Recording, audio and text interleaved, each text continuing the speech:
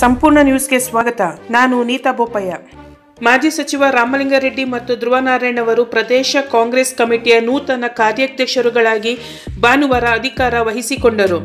ಬೆಂಗಳೂರು ಮಲ್ಲೇಶ್ವರಂನಲ್ಲಿರುವ ಚೌಡಯ್ಯ ಸ್ಮಾರಕ ಭವನದಲ್ಲಿ ಇಂದು ನಡೆದ ಸಮಾರಂಭದಲ್ಲಿ ಕೆಪಿಸಿಸಿ ಅಧ್ಯಕ್ಷ ಡಿಕೆ ಶಿವಕುಮಾರ್ ಅವರು ನೂತನ ಕಾರ್ಯಾಧ್ಯಕ್ಷರಿಗೆ ಪಕ್ಷದ ಬಾವುಟ ನೀಡುವ ಮೂಲಕ ಜವಾಬ್ದಾರಿ ವಹಿಸಿಕೊಟ್ಟರು.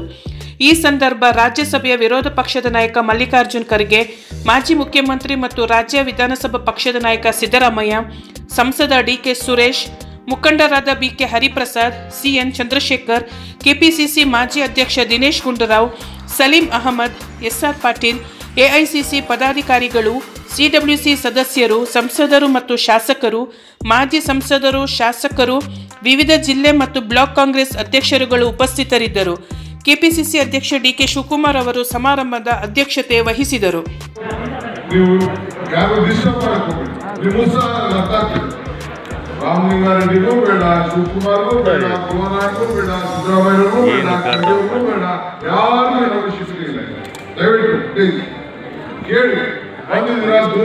ಹೊರಗಡೆ ಇದ್ದ ಜಾಗ ಇದೆ ಹೊರಗಡೆ ಎಲ್ಲ ಕಾಯ್ತಾ ಇದ್ದಾರೆ.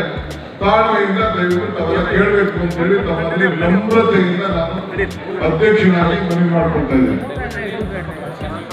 ಸಂಪೂರ್ಣ ನ್ಯೂಸ್ ಯೂಟ್ಯೂಬ್ ಚಾನಲ್ಗೆ ಸಬ್ಸ್ಕ್ರೈಬ್ ಆಗಿ.